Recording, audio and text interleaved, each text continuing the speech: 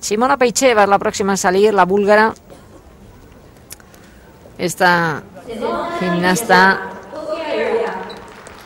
también metida en las cuatro finales, ya les digo, van a ser los mismos nombres, diferentes órdenes de salida. 21 años tiene, una gimnasta muy flexible con una muy buena técnica. Consiguió su sueño de ser olímpica en los Juegos de Atenas, en donde acabó sexta. Y este año en el europeo ha sido séptima.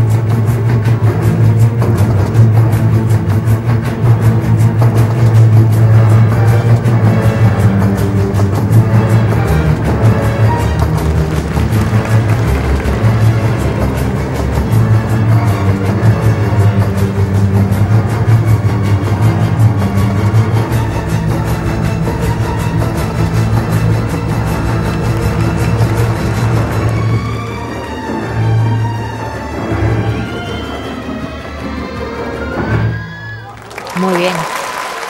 En su estilo, Simona Peixeva. Es la única de las búlgaras que se ha metido. Hay una final, la de cinta, que tiene nueve participantes.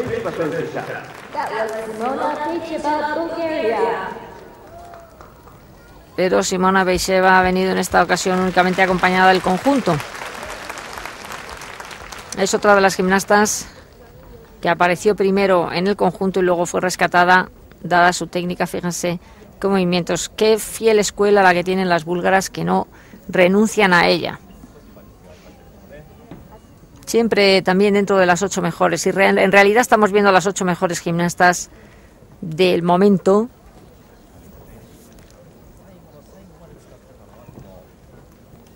Para llegar al podio habitualmente siempre vemos las mismas caras, las rusas o las ucranianas. Alguna vez, por despiste de algunos de estos eh, de estas gimnastas, se cuela pues una sorpresa que se pueda meter la búlgara, pero en realidad son Rusia y Ucrania quienes ocupan ahora prácticamente los podium. Alguna vez también se mete alguna bielorrusa, Inozukova, en algún aparato. Su nota 16.075. Tercera plaza, sigue Besona